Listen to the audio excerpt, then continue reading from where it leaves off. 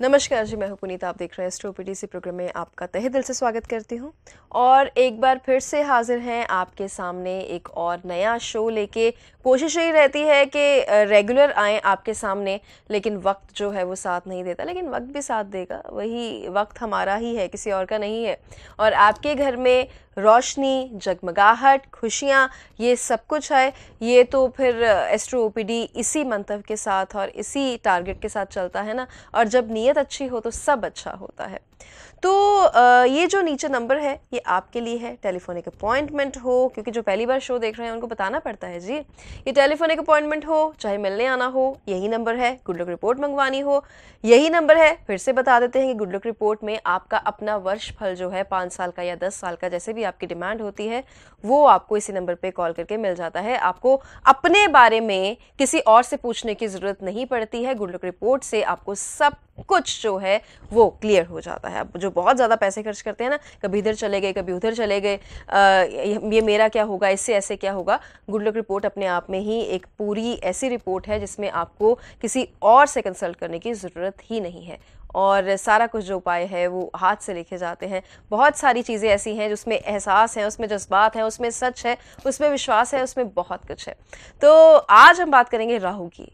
डरना नहीं है। बहुत सारे लोग राहु से डर जाते हैं कि राहु राहु खराब तो सब खराब। तो राहु खराब होता कैसे है? खराब हो तो सही कैसे होता है? इस सब के बारे में हम बात करेंगे। पहले स्वागत करते हैं। बहुत बहुत स्वागत है आपका सुनील जी। नमस्कार नमस्कार जी।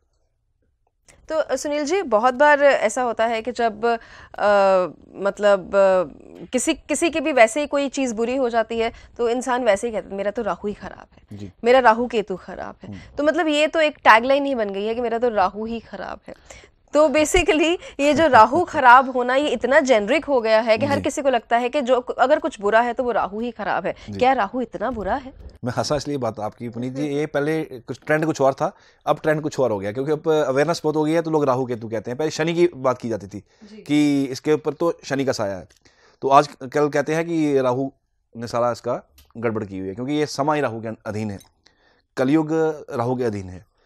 तो बात राहु की कर रहे हैं पुनीत जी। हमने बहुत एपिसोड किए हैं राहु के ऊपर, लेकिन जितना बोलेंगे उतना ही कम है। राहु इतना बड़ा इसके अंदर इतना कुछ है कि जितना बोला जाए उतना ही कम है। राहु आपकी लाइफ में बहुत अच्छा भी करता है और राहु बहुत आपकी लाइफ में खराब भी करता है। अच्छा इतना करता है कि खरबोपति बनाता है और बुरा इतना करता है कि रोडपति बना देता है।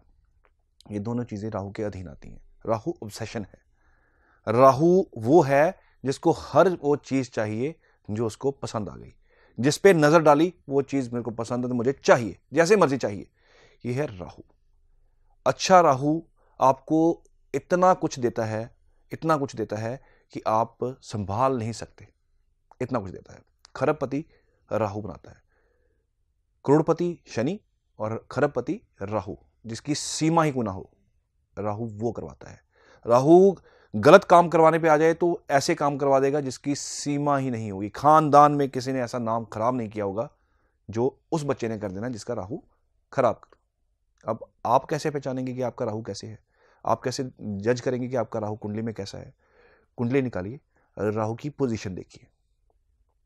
राहु छठे घर का नेचुरल कार का है।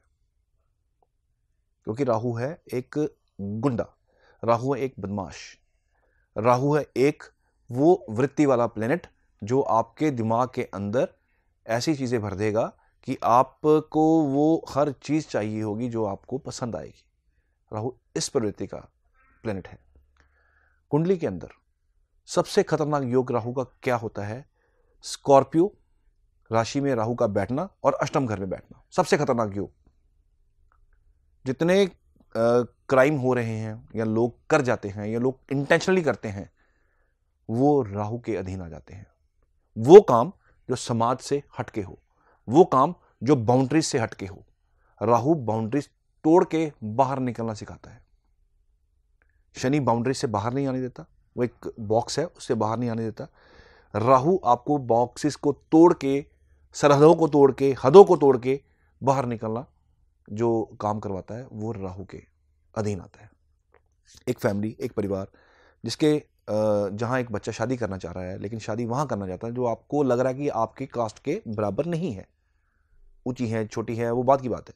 लेकिन वो आपको पसंद नहीं है, बच्चा लेकिन वहाँ पे ही करवाएगा। नीच राहु वो काम करवाता है, राहु नीचता करवाता है। जो काम एक सही इंसान सोच भी नहीं सकता, खराब राहु वाला इंसान वो बड़े आसानी से कर देता है और रूटीन में कर जाता है कि ये तो कोई बड़ी बात नहीं है तो नॉर्मल सी चीज़ है। उसके लिए नॉर्मल है, लेकिन आपके लिए शायद बहुत बड़ी चीज़ है। एक नॉर्मल राहु वाले, एक अच्छे राहु वाले इंसान के लिए बहुत बड़ी चीज़, खराब राहु वाले के लिए बहुत नॉर्मल चीज़ है। क्राइम बहुत नॉर्मल चीज़ है। ज़्यादा से ज़्यादा क्या होगा? सजा जाएगी, जेल चले जाएँगे, इससे ज़्यादा क्या होगा? ये सोच राहु देता है। लेकिन अच्छा राहु सही ढंग पे लेके, सही काम करवा के आपको बहुत ऊपर तक लेके जाता है। बहुत तरक्की करवाता है। बड़ी बड़ी कंपनियाँ लोग खोल के बैठ जाते हैं और वो कंपनियाँ लोगों को सैलरीज बांटती हैं। ऐसा काम राहु करवाता है। क्योंकि राहु अचानक आपकी लाइफ में जो हैपनिंग्स होती हैं, उसको रिप्रेजेंट करता है। आपके खानदान में किसी ने लिमिट ना तोड़ी हो, वो राहु करवाता है। या किसी ने रिकॉर्ड ना तोड़े हो, वो भी राहु करवाता है। दोनों चीज़ राहु के अधीन है। लिमिट तोड़ना रिकॉर्ड तोड़ना, दोनों राहु के अधीन है। राहु ही लॉटरी लगवाता है। राहु ही पंचम भाव में बैठ के लॉटरी लगवा देता है। राहु के बिना चेक कर लीजिएगा। किसी की लॉटरी लगी हो, किसी की भी लॉटरी लगी हो, राहु के बिना नहीं लग सकती। राहु की दशा होगी तो लॉटरी के योग बनेंगी। अंतरदशा होगी तो लॉटरी के योग बनेंगे। राहु की प्रत्यंतर दशा होगी तो लॉटरी के योग बनेंगे। तो आपका जो कहते हैं, अचानक अकस्मात धन जो होता है, वो आपको मिलेगा। यहाँ एकदम से ऐसी खुशी मिलेगी जो आप बहुत ही ज़्यादा आपको अंदर से खुश कर देगी और उसका जो टेस्ट है, आप शायद भूल ना पाओ। ऐसी खुशी राहु दे देता है। छप्पड़ फाड़ के राहु, इसीलिए कहते हैं कि छप्पड़ फाड़ के देता है राहु, क्योंकि राहु लिमिटलेस है। राहु को कोई लिमिट पसंद नहीं, कोई बाउंड्री पसंद नहीं, कोई सरहद पसंद नहीं है। वो सरहद, सरहदें क्रॉस करना जानता है। कुंडली के अंदर मेष का राहु गड़बड़ करता है। कुंडली के अंदर वृषभ का राहु बहुत अच्छा होता है। कुंडली के अंदर मिथुन का राहु बहुत अच्छा होता है। कुंडली के अंदर कर्क का राहु गड़बड़ करता है मेंटल पीस डिस्टर्बेंस क्रिएट करता है। मदर के होते हुए इंसान कामयाब नहीं हो सकता, ये एक सीक्रेट है। लियो का, सिंह का राहु आपको एरोगेंस दे देगा। मेरे जैसा कोई भी नहीं है। मैं सबसे बेस्ट हूँ, क्योंकि राहु धुआँ है। राहु एक ऐसी चीज़ है जिसने एक धुआँ क्रिएट करना है सच्चाई से कोसों दूर है। उसने धुआँ क्रिएट करना है। मेरे जैसा कोई नहीं है। सूर्य है। सूर्य राजा है। सूरज, सूर्य रॉयल्टी है। ये जो रॉयल्टी है, ये सूर्य के अधीन है। राहु जहाँ बैठेगा तो इंसान को लगेगा, मेरे से ज़्यादा रॉयल कोई नहीं है। क्योंकि जो लियो राशि है, ये एक किंगली राशि है। एक बहुत बड़े राजा की राशि है। महाराजा की राशि है। वहाँ राहु बैठ के भ्रम पैदा करता है कि मेरे जैसा कोई नहीं है। राहु छठे घर में अच्छा माना गया। नेचुरल घर है राहु का। कहते हैं इसके, ऐसे इंसान के जितने मरी दुश्मन हों, ये इंसान कभी हारता नहीं है। एंड ऑफ़ द डे सारे कर्जे दुनिया के अपने खत्म करके जाता है। ऐसे नहीं जाता दुनिया से। तुला का राहु रिलेशनशिप में गड़बड़ खड़ी करता है। रिलेशनशिप में शक पैदा करता है। ये हर केस में नहीं होता, लेकिन मैक्सिमम केस में हो जाता है। जब कुंडली में मेरे पास मैच मेकिंग के लिए आती है, अगर सात नंबर में राहु हो तो ये रिलेशनशिप के ऊपर अटैक करेगा ही करेगा। आपके रिलेशनशिप स्मूथ नहीं होने क्योंकि राहु नेगेटिविटी है। इसने रिलेशनशिप सात नंबर राशि रिलेशनशिप की राशि है। तुला राशि रिलेशनशिप की राशि है। यहाँ पे राहु बैठ के रिलेशनशिप को जो है, इसका पूरा जो है खराबी करता है और पूरा बैंड बजाता है। कि स्कॉर्पियो का राहु, यानी कि वृश्चिक राहु, नीच राहु, यहाँ पे ये मंगल की राशि है। राहु यहाँ आके बहुत गड़बड़ करता है। सुसाइडल टेंडेंसिस यहाँ पे राहु क्रिएट करता है। टेंडेंसिस करवाता नहीं है टेंडेंसिस फीलिंग देता है। इंसान ओवर इमोशनल होता है, क्योंकि जो चीज़ पाना चाह रहा होता है वो होती नहीं है और इंसान जो है वो छटपटाता है और बहुत ज़्यादा नेगेटिविटी इंसान के अंदर भर जाती है। स्कॉर्पियो का राहु। ये घर है भी शमशान घाट का। एट्थ राशि जो है स्कॉर्पियो की शमशान घाट की राशि है। यहाँ पे बैठ के राहु हर वो उल्टा सीधा काम करवाएगा जो समाज से बिल्कुल डिफरेंट होगा, जो समाज से, समाज के अधीन नहीं होगा लिमिट से बाहर होगा। नशा ये राहु करवाता है, खास करके स्कॉर्पियो राशि ऐसा इंसान सोचता नहीं है, कुछ गलत करने लगे कि मेरे घर वालों का क्या होगा, मेरे परिवार का क्या होगा, वो कुछ नहीं सोचता, उसको बस अपना वो चीज़ पूरी करनी है जो उसके दिमाग में आ चुकी हुई है। क्योंकि राहु का दिमाग से कोई लेना देना नहीं है। राहु का दिमाग से इसलिए लेना देना नहीं है क्योंकि इसने मन में जो आएगा वो करेगा, सोच दूर दूर तक इसके आसपास नहीं है। धनु में राहु आके थोड़ा सा कंट्रोल हो जाता है। क्यों? ये गुरु की राशि है। गुरु से बड़े बड़े सीधे हो जाते हैं। सो गुरु से थोड़ा सा राहु डरता है। यहाँ पे आके उतना नुकसान नहीं करता, जितना ये आठ नंबर राशि में कर जाता है। हालाँकि यहाँ पे भी नीच का माना गया है। लेकिन कहीं ना कहीं थोड़ा सा, मैं कंपेरेटिवली कहूँ कि दस परसेंट स्कॉर्पियो से कम रिज़ल्ट देता है खराब, लेकिन खराब तो देता है। दस नंबर कैप्रिकॉन का राहु, मकर राशि का राहु। इंसान के अंदर अपने काम को लेके डेडिकेशन पैदा करता है। बहुत डेडिकेशन पैदा करता है और अंधाधुंध काम करता है। इस इंसान के बैक ऑफ़ द माइंड काम ही चल रहा होता है। एक चीज़ का ध्यान हमेशा रखिएगा, राहु जहाँ बैठा होगा कुंडली के अंदर आपके, वो आपकी ज़िंदगी का एरिया ऑफ़ फोकस होगा। आपके दिमाग में वो चीज़ें हर वक्त चलती होगी। राहु इलेवंथ हाउस में इलेवंथ राशि में खास करके कुंभ राशि में इच्छाओं को बढ़ा देता है। हर चीज़ चाहिए, गाड़ी चाहिए बढ़िया कपड़ा चाहिए। Branded brand brand brand brand का पूरा टैग लाइन जो है दिमाग में छप जाती है। हर चीज़ ब्रांड में चाहिए। गाड़ी चाहिए तो वो भी बहुत हाई ब्रांड की चाहिए।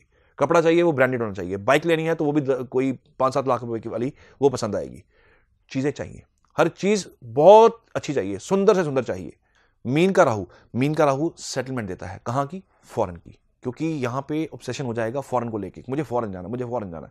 वहाँ सेटलमेंट होगी और वा, वाकई में करवा भी देता है। राहु आपको फॉरन भेजने में बहुत ज़्यादा जो है रोल अदा करता है कि हम एपिसोड करेंगे इसमें फॉरन सेटलमेंट का या अब्रॉड सेटलमेंट का पूरा का पूरा आपको मैं इन्फॉर्मेशन दूँगा। कौन जा सकता है कौन नहीं जा सकता कौन जाके वापस आ जाता है कौन जाके वहाँ पे कुछ देर काम करके वापस आता है और कौन वहाँ पे रह जाता है। कौन एनआरआई बन जाता है कि नॉन रेजिडेंटल इंडियन जो टैग लगता है वो किसको लगता है? वो राहु ही इसमें इन्वॉल्व होता है क्योंकि बिना राहु के आप लंबी यात्रा भी नहीं कर सकते। तो ये जो मीन का राहु है, ये समवेयर एवरेज माना गया है। सबसे खतरनाक स्कॉर्पियो का, सबसे खतरनाक धनु राशि सेजिटेरियस राशि का, सबसे खतरनाक कर्क राशि का और सबसे खतरनाक सिंह राशि का जो राहु है जहाँ बैठा होता है, ये खराबी करता है। बाकियों को नुकसान इतना नहीं करता। हाँ ऑब्सेशन ज़रूर देता है। जहाँ बैठेगा, वहाँ उस घर के लिए ऑब्सेशन ज़रूर देगा। अगर ये चौथे राशि में बैठा हुआ है, कर्क में बैठा हुआ है तो गाड़ियों का लोग बहुत शौकीन होते हैं। इनको गाड़ियाँ चेंज करने की बहुत प्रवृत्ति होती है। लॉस में बेच देंगे। गाड़ी लेंगे अपना शौक पूरा करेंगे लॉस में बेच देंगे लेकिन गाड़ी का शौक कभी खत्म नहीं होता। बाइक्स का शौक खत्म नहीं होता। घर बनाना है इंसान को। एक चीज़ और आ, मैं आपको चीज़ बता दूँ। राहु चौथे घर में हो तो आप इंसान को अपने नाम पे घर नहीं लेना चाहिए। इंसान को अपने किसी फैमिली मेंबर के साथ पार्टनरशिप में घर लेना चाहिए। इंडिविजुअली अपने नाम पर राहू आपको अपने घर में रहने नहीं देगा। कुंडली खोल के चेक कर लीजिएगा। राहु अगर आपके कुंडली में चौथे घर में कर्क राशि में पड़ा हुआ है तो आपका उस घर में रहना बहुत मुश्किल होगा, जिसमें आप रह रहे हैं लॉट्स ऑफ़ ट्रबल आपको देगा, आपको अल्टीमेटली घर सेल करना पड़ेगा। ये ग्रह की कुछ इंपॉर्टेंस होती है, ये ग्रहों की कुछ नेचर होती है, जो आपके साथ मैच करती है। राहु को ठीक करने के लिए बहुत सारे उपाय हैं। आज हम जो एपिसोड कर रहे हैं, ये सिर्फ़ ये नहीं है कि राहु क्या करता है। ये भी मैं बताऊँगा कि राहु को ठीक करने के लिए घर के अंदर आपको क्या करना चाहिए, क्या चेंजेस आपको घर के अंदर करने चाहिए कि आपका राहु जो है वो ठीक रिज़ल्ट दे सुनील जी राहु को गुंडा बदमाश तो बता दिया आपने। लेकिन आ, मैंने यही भी सुना है पता नहीं सच है या नहीं कि जिसने सियासत में राजनीति में यानी पॉलिटिक्स में जाना हो राहु उसकी हेल्प भी करता है। सो राहु हेल्पफुल भी है इसमें। जी राहु ही हेल्प करता है क्योंकि पॉलिटिक्स में जाना और क्योंकि पॉलिटिक्स करनी बहुत मुश्किल है। जितनी आसान दिखती है उतनी आसान है नहीं। हर वर्ग को खुश रखना पड़ता है। डिप्लोमेसी राहु सिखाता है। राहु डिप्लोमेटिक प्लेनेट है। आपके मुँह पे आपका होगा, मेरे मुँह पे मेरा होगा, इनके मुँह पे इनका होगा, किसी के मुँह पे उसका होगा। राहु डिप्लोमेसी है। राहु डायरेक्ट इन्वॉल्व है आपके पॉलिटिक पॉलिटिकल कैरियर के साथ। राहु कुंडली में अच्छा हो तो इंसान बहुत अच्छा पॉलिटिशियन बनता है। बड़ी अच्छी, बहुत अच्छे अच्छे वादे करता है, बहुत अच्छी अच्छी स्पीच देता है। लोगों को उसकी स्पीच पसंद आती है। काम वो जैसा भी करे, लेकिन उसकी जो पब्लिक जो फिगर होती है, जो पब्लिक फेस होता है, वो बहुत अच्छा होता है। क्योंकि राहु ने वो वो चीज़ें बर्बादी नहीं है जो एक्चुअल में चाहे हो या ना हो वजूद हो, क्योंकि राहु धुआँ है। राहु एक सिर्फ़ भ्रम है एक्चुअल में राहु की एग्जिस्टेंस नहीं है। राहु सिर्फ़ भ्रम बनाता है आपके लाइफ में, आपकी लाइफ में जो एक धुआँ क्रिएट करता है, सोच क्रिएट करता है। वजूद नहीं है, दिखेगा नहीं, परछाई है, दिखेगी नहीं, लेकिन परछाई है। सो so, राहु पॉलिटिक्स में अगर पॉलिटिकल आपको पॉलिटिकल कैरियर अपना बनाना है तो राहु कुंडली में बहुत मज़बूत होना चाहिए। अच्छे मज़बूत राहु वाले पॉलिटिकल कैरियर बहुत अच्छा बनाते हैं बहुत दूर तक काफ़ी अप अब तक उसका काफ़ी अपर लेवल तक उनका जो पॉलिटिकल कैरियर जाता है। और ऐसे लोग मेरे पास कई बार पॉलिटिशियन आते हैं तो सीधी नज़र सबसे पॉलिटिशियन कभी भी आएगा सीधी नज़र राहू पे जाएगी। राहू कहाँ पे बैठा हुआ है? बाकी सब तो बात की बात है, कर्मेश बात की बात है। ठीक है, कर्म मिला उसको, समाज की सेवा करने का कर्म मिला। लेकिन राहु कहाँ पे है? राहु ऐसी जगह पे होता है जहाँ पे उसमें पॉलिटिकल करियर इंसान का चमक रहा होता है। और राहु ही डुबो देता है जब आप, कर्मेश सपोर्ट आपको जब नहीं करेगा, आप नीचे गिरेंगे। कर्मेश, आप, कर्मेश है आपका शनि। शनि क्या है? वादा। शनि क्या है? वादा पूरा करना। शनि क्या है? लिमिट्स शनि आपको कहते हैं कि आपने जो वादा किया उसको पूरा करो। जब वो वादे पूरे नहीं होते एक सरकार आती है वादे पूरे नहीं होते दूसरी सरकार आती है। वो जब वादे पूरे नहीं करती अगली सरकार आती है। तो ये जो बैलेंस है ऐसे ही ऊपर नीचे होता रहता है। क्योंकि राहु आपसे वादे करवाएगा शनि आपको कहेंगे कि आप इसकी इस जो आपने कमिट किया उसको पूरा करो तो ही आप दोबारा वापस आते हो। अगर नहीं करते हो तो आपको लोग जो है हटा देते हैं। जो पॉलिटिशियन होते हैं छोटे होते हैं बड़े होते हैं वो हट जाते हैं। So so, Rahu direct involve है पॉलिटिकल करियर के साथ अगर पॉलिटिकल करियर बनाना है तो अपना राहु मज़बूत कीजिए फिर आप पॉलिटिक्स में जा सकते हैं वरना पॉलिटिक्स आप नहीं कर सकते। तो अगर राहु मज़बूत है तो पॉलिटिकल करियर आपका बहुत अच्छा हो सकता है। तो आ, मुझे लगता है कि अगर बाकी लोग भी कुछ एस्ट्रोलॉजी की बातें करते हैं आ, तो इतनी गहन बात जो है वो कोई भी नहीं करता क्योंकि करियर आजकल हर कहीं है। पॉलिटिक्स में आने वाले जो आजकल लड़के हैं नौजवान हैं और लड़कियाँ भी बहुत सारी ऐसी हैं जो पॉलिटिकल उसमें अपना करियर जो है वो बनाना चाहती हैं। तो पॉलिटिकल सिनेरियोज जो है चल भी वैसे रहे हैं। बहुत सारे नौजवानों को इस बार इंपॉर्टेंस भी जो है बहुत ज़्यादा मिल रही है। चाह रहे हैं कि नए नए चेहरे जो हैं वो सामने आए और बहुत अच्छा कर भी रहे हैं। बहुत सारे नाम हैं यहाँ पर नाम गिनवाने नहीं है क्योंकि ये पॉलिटिकल शो नहीं है। लेकिन राहु जो है राहु जो है वो इसमें ज़रूर हेल्प करता है। गुड लक रिपोर्ट के ऊपर आते हैं।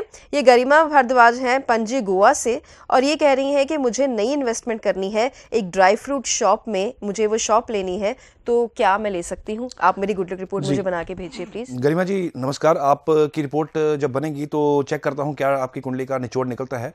तो आप वैसे नया साल है 2021 है नए काम की आगाज़ करना चाहिए। बाकी आपकी कुंडली में जो होगा उसके हिसाब से मैं आपको यस नो करूँगा या जो पीरियड आपके लिए अच्छा होगा, वो मैं आपको लिख के दूँगा कि कौन से पीरियड में काम स्टार्ट क्योंकि काम स्टार्ट करने के लिए, कोई भी, सभी के लिए, कोई भी इवेंट शुरू करना हो, मुहूर्त की बहुत ज़्यादा इंपॉर्टेंस है। किस मुहूर्त में आप काम कर रहे हैं? वहम नहीं है, लेकिन मुहूर्त बहुत जो है काम करते हैं। अच्छे मुहूर्त में आपके जो रिलेटिव जो जो रिलेटेड जो मुहूर्त होता है, उसमें अगर आप काम करते हैं तो उस काम की कामयाबी बहुत ज़्यादा बढ़ जाती है। तो उस उसमें आपको मैं टाइम निकाल के दूँगा किस पीरियड में आपको काम करना चाहिए करना चाहिए भी कि नहीं करना चाहिए।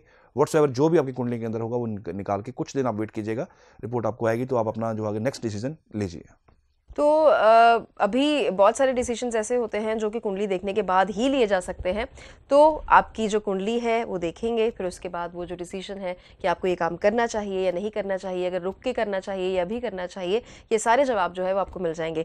अब जो, जिसमें कि टिप्स टिप जो है टिप ऑफ़ द डे भी शामिल होगी। मैं, हम लोग टिप में कंजूसी नहीं कर रहे हैं, लेकिन ये वाकई ही टिप होने वाली है। राहु के लिए उपाय ज़रूर बताइए प्लीज़ पुनी जी, आज राहु के लिए मैं आपको तीन उपाय बताता हूँ, कुछ चीज़ें बताता हूँ। वो आप कीजिएगा अपने घर के अंदर, क्योंकि राहु का ज़्यादा प्रभाव घर के अंदर नहीं होना चाहिए। एक तो घर के अंदर थोड़ा सा माहौल रिलीजियस कीजिए। सुबह सुबह आप जिस भी धर्म को बिलोंग करते हैं, उनके भजन, जो भी आपके रिलीजियस जो भी आपके रिलीजन्स हैं, उसका वो कीर्तन अपने घर में लगाया कीजिए, सबसे पहला काम, मॉर्निंग में। सोए हुए बच्चे होते हैं, बच्चे जागते हैं तो उनके कानों में आवाज़ जानी चाहिए, नंबर एक, क्योंकि उससे नेगेटिविटी माइंड की कम रहेगी, राहु नेगेटिविटी ज़्यादा देता है। नंबर दो आपके घर में जितना रुका हुआ इलेक्ट्रॉनिक्स है, वो आप वहाँ रिमूव कीजिए। राहु की कुछ निशानियाँ हैं, खराब राहु की। वो भी आप सुनिएगा। राहु खराब हो इलेक्ट्रॉनिक्स खराब होता है। पहली बात, ये सभी लोग जानते हैं। बार बार इलेक्ट्रॉनिक्स खराब होता है, घड़ियाँ रुकती हैं बार बार घड़ियाँ दोबारा सेल नया डालते हैं, चार दिन बाद घड़ी रुक जाएगी या खराब हो जाएगी। राहु खराब हो तो लाल रंग की चीटियाँ बहुत घर के अंदर आती हैं। बहुत सारा उनका ग्रुप का ग्रुप आपके घर में घुसना शुरू कर देगा। ये राहु खराब की निशानी है। राहु खराब हो तो बनता हुआ घर रुक जाएगा। पैसे की शॉर्टेज ऐसी आ जाएगी कि आपका बनता, चलता चलता काम, घर का आप कंस्ट्रक्शन करवा रहे हैं, वजह ऐसी बनेगी, आपका काम रुक जाएगा। ये राहु खराब की निशानी है। राहु खराब हो, घर के अंदर कबूतर बहुत आते हैं। लोग कबूतरों को दाना डालते जाते हैं। अपने घर की छत पे कबूतरों को दाना नहीं डालना चाहिए। कबूतर हमेशा हमेशा आपसे आप ध्यान दीजिएगा, कबूतर कहाँ ज़्यादा होते हैं? उजाड़ में ज़्यादा होते हैं। पुरानी बिल्डिंग्स होती हैं जहाँ पे खंडर होते हैं, जहाँ कोई नहीं रहता सबसे ज़्यादा कबूतर वहाँ होते हैं। घर के अंदर खास करके छत पे कबूतर आप मत आ, उनको दाना डाला कीजिए साइड पे डाला कीजिए छत पे डाना ना डाला कीजिए। राहु खराब की निशानी होती है कबूतर छत के ऊपर क्योंकि ये पितृदोष का भी एक बहुत बड़ा सिम्टम है कि आपके कुंडली के अंदर पितृदोष हो या राहु खराब हो तो कबूतर घर के ऊपर आएँगे आएँगे और आप उनको दाना डाल रहे होंगे। डालिए नेचर को आप सर्व कीजिए लेकिन थोड़ा सा साइड पे कीजिए छत पे मत कीजिए। राहु खराब हो तो आपके घर के अंदर गंदगी का वास बहुत ज़्यादा होता है और गंदी एक बड़ी गंदी स्मेल घर के अंदर रहती है। क्योंकि ये स्मेल डिटेक्ट करना मुश्किल हो जाती है गटर की स्मेल जो होती है, ये ऐसी स्मेल एक फील होती है घर के किसी न किसी पोर्शन में, किसी न किसी एरिया में। यानी कि राहु खराब है। तीन उपाय। ये कीजिए, राहु आपका ठीक हो जाएगा। इलेक्ट्रॉनिक्स रिमूव कर दीजिए। ये तो आपको मैंने दे दिया गाइडेंस आप चींटियाँ हैं, लाल तो उनको कुछ उनका कुछ हल कीजिए। ना मारिए कुछ दाना डाल के उनको या कुछ डाल के उनका फ़ूड उनको घर से बाहर निकालिए। नंबर वन क्या करना है? बुधवार को अपने घर का वॉशरूम खुद साफ़ किया कीजिए। बहुत इजी उपाय है। खुद साफ़ किया कीजिए। बुधवार को। और बिल्कुल ड्राई किया कीजिए, गीला नहीं होना चाहिए। नंबर एक। नंबर दो। राहु खराब हो, नारियल लीजिए। नारियल उस शख्स के ऊपर से सात बार वार के मंदिर के डंप एरिया में डाल दीजिए, जहाँ पे सारा सामान मूर्तियों का उतरता है। सेहरे उतरते हैं, हार उतरते हैं, जहाँ वो डंप करते हैं, वहाँ डाल के आइए। नंबर तीन। राहु खराब हो तो गुमेद लीजिए चार। दो तरह के गुमेद होते हैं। एक होते हैं डालने वाला, एक होता है प्रवाह करने वाला, पानी में प्रवाह करने वाला। वो बहुत सस्ता होता है एक्सपेंसिव नहीं होता। चार गुमेद लीजिए, बुधवार के दिन उस इंसान के हाथ लगा के या उसके सर से वार के एंटी क्लॉकवाइज सात बार इसको भी पानी में प्रवाह कर दीजिए, बुधवार। ये तीन उपाय आप कीजिए, राहु आपका बैलेंस होना शुरू हो जाएगा और इसको दो तीन बार कर दीजिए। राहु बैलेंस हो जाएगा, घर से गंदगी निकालिए इलेक्ट्रॉनिक्स रुका हुआ निकालिए राहु बैलेंस हो जाएगा और आप कम से कम राहु के नेगेटिव इफ़ेक्ट जो है वो आपकी लाइफ में और आपके घर में खत्म हो जाएँगे। जी तो राहु के बारे में इतनी सारी इन्फॉर्मेशन आपको इसी एपिसोड में मिल गई है। एक ही एपिसोड में इतनी सारी इन्फॉर्मेशन मिल गई है तो ये जैकपॉट वाली बात होती है। तो कब मैं अपनी कुंडली में ये खुद चेक कर पाऊँगी कि मेरा राहु जो है वो सही है या नहीं है? हाँ। यानी कि कोर्स कब आएगा? जी पुनीत जी थोड़ा सा काम बाकी है और जल्दी अनाउंस करेंगे। क्योंकि ये बहुत बारीकी वाला काम है, हर चीज़ का ध्यान रखा जा रहा है। वॉल्यूम वन ही अभी रेडी हुआ है वॉल्यूम टू पे अभी काम शुरू नहीं हुआ वॉल्यूम वन अभी ख़त्म कर रहा हूँ। सो जल्द ही आपके आगे जो आपके लिए, कम से कम आप, ये मेरा जो कोर्स है स्पेशली उन एस्ट्रोलॉजर्स के लिए है, जो सीरियसली ईमानदारी के साथ सीखना चाहते हैं, जो ईमानदारी के साथ ज्योतिष को समझना चाहते हैं, और उसके बाद प्रैक्टिस करके लोगों की हेल्प करना चाहते हैं। ये कोर्स उनके लिए है। स्पेशली उनके लिए डिज़ाइन किया है। आज तक नहीं हुआ था। बहुत सालों में मैंने मैंने, मैं नहीं कर पाया, लेकिन कुछ समय मिला जिसमें मैंने शुरू किया। अब थोड़ी देर रहेगी ख़त्म होने की। ये आप कोर्स जब पढ़ेंगे एस्ट्रोलॉजी समझेंगे। तो समझने के लिए थोड़ी सी वेट कीजिए। ये बुकिंग जल्दी से हम शुरू कर देंगे। तब तक आप थोड़ा सा वेट कीजिए। आप ये, क्योंकि ये बड़ी प्यारी चीज़ है। मैंने अपनी ज़िंदगी का तजुर्बा डाला है। एक्सपीरियंस डाला है इसमें अंदर, इसके अंदर इसके अंदर कुछ लॉजिक्स डाले हैं, इसके अंदर कुछ बहुत बड़े अच्छे अच्छे एस्ट्रोलॉजर्स जो हैं ऑथर्स रहे हैं, बहुत तगड़े, जो बहुत बड़ी एस्ट्रोलॉजी करते थे, उनके जो है रेफरेंसेज डाली गई हैं। सो आपको बहुत हेल्प करेगा। सो आपको हर चीज़ बारीक चीज़ की इन्फॉर्मेशन दिलाएगा, हर बारीक चीज़ के साथ रूबरू कराएगा, क्या चीज़ किस घर से कब देखी जाती है, कोई क्लाइंट आपके सामने बैठे तो आपको हर चीज़ का आंसर जैसे मैं हर चीज़ का आंसर दे देता हूँ, आप भी इतने सक्षम हो जाएँ कि आप कंफ्यूज ना हो कि मैं कहाँ से देखूँ, कैसे देखूँ, हल कैसे दूँ, क्योंकि हल देना सबसे मुश्किल काम है। सॉल्यूशन देना सबसे मुश्किल काम है, और हल कौन देता है? इसको नॉलेज होती है। नॉलेज कहाँ से आएगी? इस कोर्स में पढ़ेंगे आप, ये नॉलेज आप गेन करेंगे, फिर आप लोगों को हेल्प करेंगे, फिर आपका नाम भी होगा कि हाँ किसी से एस्ट्रोलॉजी सीखी थी और किसी ने सिखाई थी और किसी की हमने हेल्प की। तो फिर थोड़ा सा इंतज़ार और है क्योंकि जब कोई अच्छी बात होनी होती है तो उसके लिए सब्र जो है वो रखना पड़ता है और मैं भी यही कोशिश कर रही हूँ। आप भी अपना ध्यान रखिए। धन्यवाद।